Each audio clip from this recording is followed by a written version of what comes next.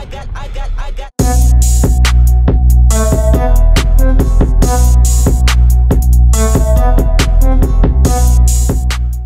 And that passer rating is spectacular as Stafford throws. Few hearts are beating around the country right now. And he caught it. Anquan Boldin. Well, that's overwhelming.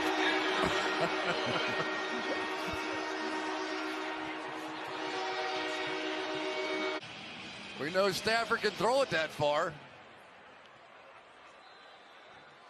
And there is Boldin in his 14th season, still on a spring. And Prater now for the the extra point. Unbelievable. Golden Tate almost. end zone or a quick out route to try to get in field goal range. Looks like they're going to go deep.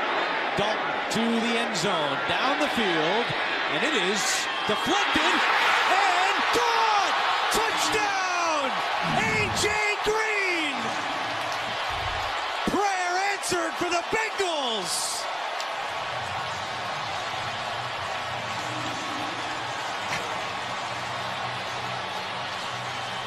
Okay. Forget about all that strategy, the time, all of that stuff. What a play. Look at this bundle of guys. And A.J. Green just staying alive. Once that ball's tipped, those Wow. guys can pull him down, grab him, keep him away. Three Browns. And they're trying four- to. There's four or five Browns, three Bengals. A.J. Green pulls it down. That's incredible concentration. Three guys hanging on him, and he still manages to keep his eye on that ball, keep his poise, and pull it in. For this Bears team, if it's Jay Cutler, you know they're going to try to take a shot. And Here he is eluding the pressure, and you are exactly right.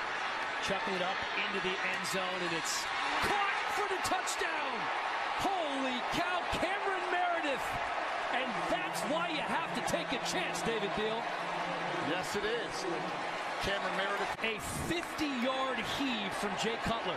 See him running the flies, everybody getting into the end zone. And what do you talk about as a defensive back? Knock it down. That ball gets tipped up into the air, falls right into Meredith for the touchdown before the half.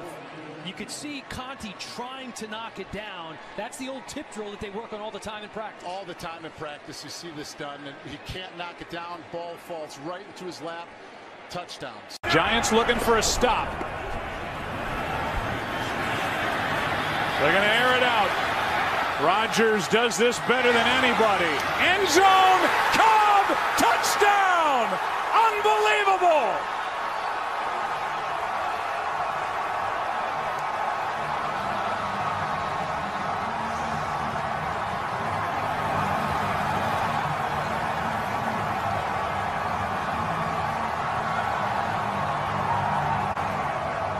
The Giants secondary as the safety players, you've you've got to get deeper than the deepest guys. Leon Hall, he he throttles at the at the goal line, and then Cobb is able to get in behind everybody.